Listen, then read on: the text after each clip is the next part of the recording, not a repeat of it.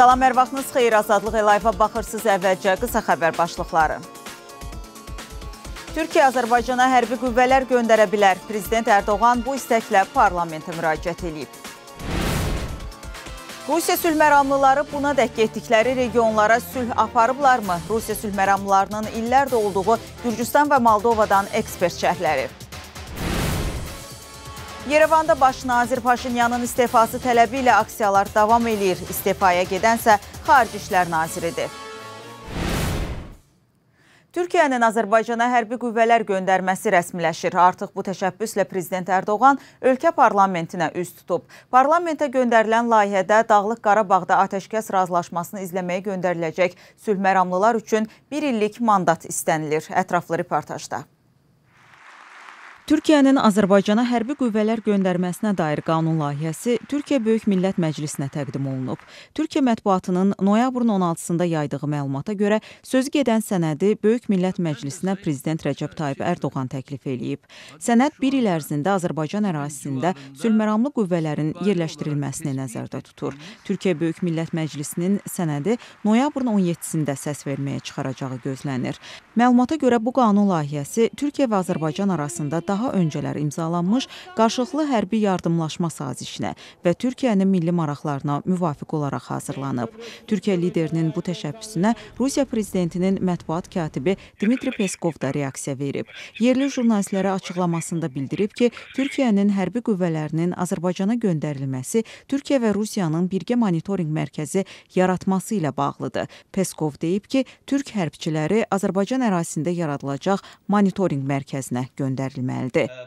Türkiyənin Altınbaş Universitetinin professoru Eray Gücləyər Ərdoğanın Türkiyə parlamentinə təqdim etdiyi qanun layihəsinin təsdiq olunacağına şübhə etmir. O düşünür ki, Rusiya ilə Türkiyənin Qarabağda birgə mövcudluğu bu iki ölkə arasında çəkişməyə yol açmayacaq. O ki qaldı Türkiyə hərbçilərinin Azərbaycanda konkret harada və nə məqsədlə yerləşdirilməsinə. Kaç kişi gidecek? Nerede bulunacaklar? Ve Rus askerleriyle nasıl birlikte hareket edecekler, hangi işlemleri yapacaklar, hangi görevleri yapacaklar.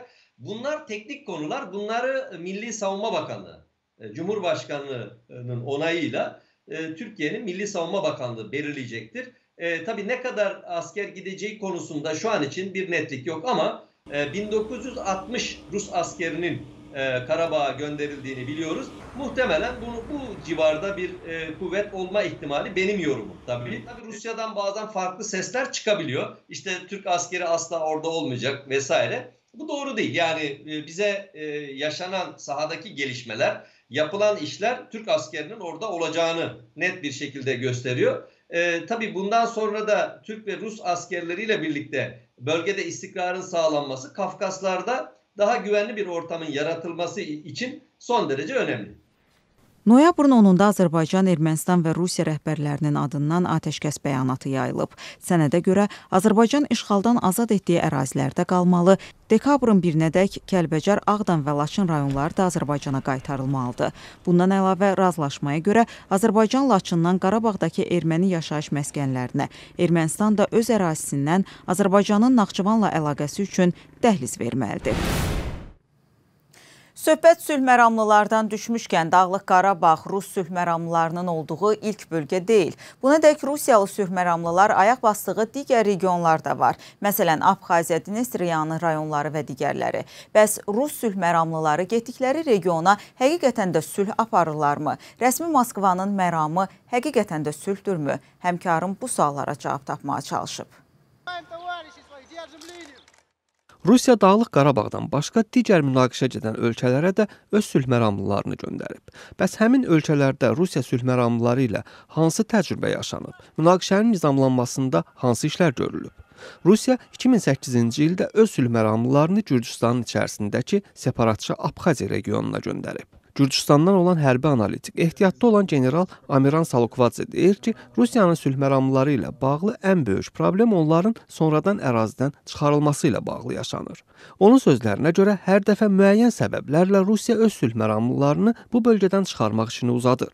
Amiran Salukvadzenin fikrincə, burada əsas məqsəd Rusiyanın həmin regionu nəzarətdə saxlamaq cəhdidir. Amiran Salukvadze deyir ki, bütün bunlardan başqa Rusiya həm də həmin ərazilərdə qanunsuz addımlar atıb.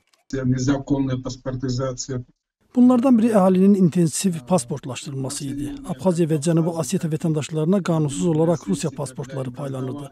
Bu da sonradan onları özlərini Rusiya vətəndaşı kimi təqdim etməsinə imkan yaradır. Bizim üçün xüsusilə təhlükə olan ikinci məsələ yerli hərbiləşmiş təşkilatların silahlandırılması idi. Rusiya uzun illər boyu yerlərə silah daşıyır. Yerli vətəndaşlardan hərbi mütəxəssislər yetişdirirdilər. Bizim etirazlarımıza isə əhəmiyyət vermirdilər. Üzdə bunun adını danışıq prosesi qoyurlar. Güya bu işlər nizamlanma prosesinin davamıdır так называемых э, местных вооруженных сил.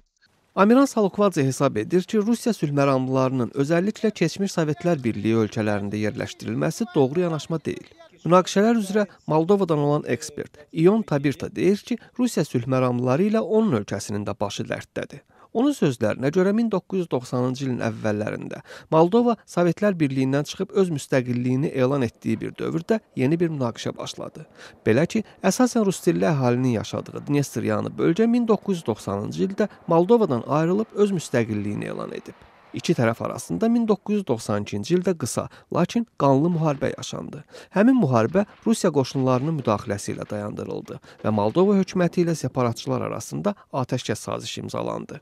1992-ci ildən bəri Rusiya Moldova ərazisində 1400 nəfərlik əskəri qüvvə saxlayır. Кишинев пытается в течение уже 25 лет Şinyav artıq 25 ildir ki, bu əsgərlərin Moldova ərazisindən çıxarılmasına çalışır. Amma Rusiya bununla razılaşmır. Deyir ki, Dnestr münaqişəsinin siyasi həlli tapılmayana-dək ordu Moldovada qalacaq. Demək olar ki, sülh məramlı kontingentinin əksəriyyəti Dnestryanı sakinlərdir. Çünki Dnestryanı bölgənin sakinləri asanlıqla Rusiya vətəndaşlığı ala bilirlər. Beləliklə də sabah hansısa narazılıq olsa və ya silahlı qarşıdurma yaransa, o zaman Moldova Rusiya sülh məramları adı altında Dnestryanı regionun sakinləri ilə döyüşəcək. Amma formal olaraq adları Rusiya sülh məramları olacaq. Bu Rusiyanın diplomatik kələyidir. Bununla onlar Dnestryanı regionda mövqelərini möhkəmləndirmək istəyirlər. Российской Федерации. Rusiya sülh məramlılarının münaqişə ərazisinə gəlməsi indi Azərbaycanda da geniş müzakirə mövzularından biridir. Belə ki, Azərbaycan, Ermənistan və Rusiya arasında noyabrın 9-da imzalanmış razılaşmadan sonra Rusiya öz sülh məramlılarını Qarabağa göndərib. Bəzi müstəqil ekspertlər bunu Azərbaycanın müstəqilliyinə təhdid hesab edirlər. Ermənistanda isə siyasi gərginlik davam eləyir. Müxalifət partiyaları baş nazir Paşinyanın istefası tələbi ilə yenidən küçələrə çıxıb. Paşinyan isə Xarici İşlər nazirini istefaya göndərib. Yerevanda ən son baş verənləri həmkarım çatdırır.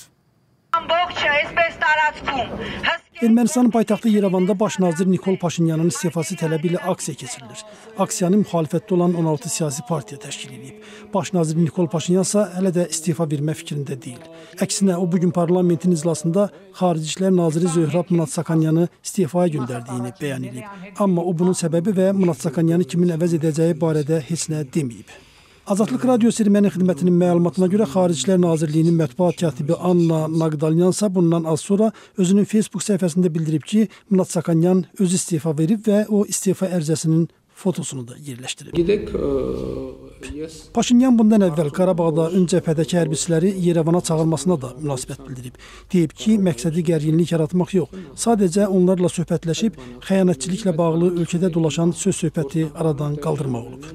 Qeyd edək ki, Paşinyan bundan əvvəl sosial media çıxışlarından birində cəbhədə döyüşən hərbiçilərə müraciətlə qeyd edib. Uşaqlar, siz haqlısınız. Nəhayət divarların altında sızlayan məsələləri həll etmək üçün sizi Yerevanda gözləyirəm. Sizinlə qürur duyuram. Paşinyanın bu çıxışından sonra onun partiyasından olan bir sıra deputatlar etiraz olaraq partiyanı tərk ediblər. Tənqidçilər bunu ölkədə qarşıdurma və zorakılığa çağırış hesab edirlər. Ombudsman da bildirib ki, bu təhlükəli hərəkətdir. Faktiki vətəndaş qarşıdurmasına sürükləyir. Prezident Armen Sarkisyan isə ölkə vətəndaşlarını təmkinli olmağa və təxribatlara getməməyə çağırıb.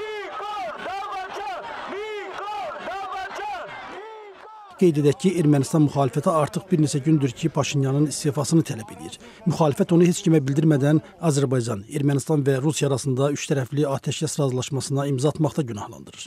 Amma o hələ də hakimiyyətdən getmək fikrində olmadığını bildirir. Noyabrın 16-sında Yerevanda növbəti etiraz aksiyası gözlənir.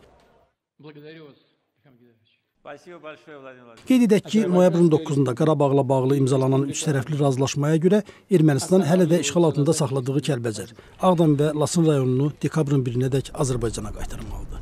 Bundan başqa Qarabağdakı təmas xətti və Lasın dəhlizi boyunca Rusiyadan olan sülh məramlı qüvvələr yerləşdirilməsi və bu əməliyyatı müşahidə etmək üçün birgə Rusiya-Türkiyə mərkəzi yaradılmalıdır. Bu sənədin imzalanması Ermənistanda hakimiyyətlə müxalifət arasında kəskin fikir ayrılıqlarına səbəb olub. Bu ilin iyulunda Tovuz rayonundakı döyüşlərdən sonra Bakıda Milli Orduya dəstək yürüşünə görə həbs olunan 22 nəfər azadlığa buraxılıb. Bu barədə noyabrın 16-sında Səbail rayon məhkəməsi qərar çıxarıb. Ev dustaqlığına buraxılanlardan 12-si Azərbaycan Xalq Cəbhəsi Partiyasının fəallarıdır. Onların arasında partiyanın rəyasət heyətinin üzvləri Fuad Qəhrəmanlı, Məmməd İbrahim, Qarabağ əlili Asif Yusifli də var. Eyni ittiham üzrə təqsirləndirilən 14 nəfərsə həbsdə qalıb. İyulun 14-dən 15-nə keçən gecə orduya dəstək yürüşündən sonra saxlanan 30-dan çox aksiya iştirakçısına qarşı özgə əmlakına ziyan vurma, hakimiyyət nümayəndəsinə zor tətbiq etmə, ictimai asayişin pozulması ittihamları irəli sürülüb. Bu iş üzrə istintaq sentyabrda yekunlaşıb, amma hələ məhkəmə keçirilməyib.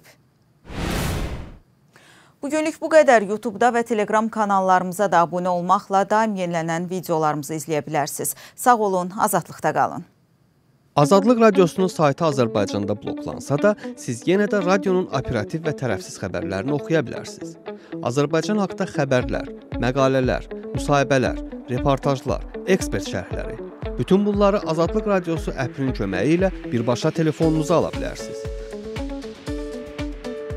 Bu əpi necə yükləmək olar?